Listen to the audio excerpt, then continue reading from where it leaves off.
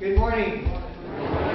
Emmaus Lutheran in Tripp sees a bigger attendance than usual today, one week after a tornado destroyed its sister church, Zion Lutheran, in Delmont.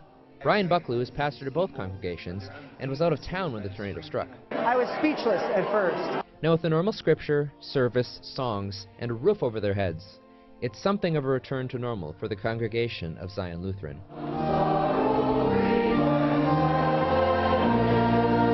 But some things can never be the same. My wife and I had just left the church and we, we faced a tornado. It was coming to town. Tad and Jim Kaufman are fourth generation members. Their grandfather was among the church's first members, and he helped to lay the cornerstone. This week, Tad and Jim helped to remove that same stone, and while it may find a new home, Cornerstone's at my farm Yeah. right now. It's, it'll be waiting for a new building. Yeah, we'll, we'll incorporate it somehow in We'll the, in the new building, yeah, Mary Hill somehow. Church. the rest of the church will be burned. Synod officials will officially decommission the building during a short service on Monday morning.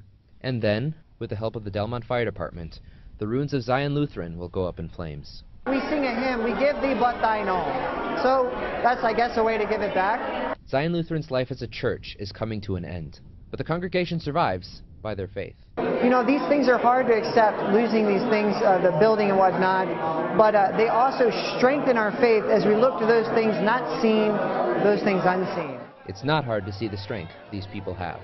In Delmont, Tanner Chambers, KELOLAND News.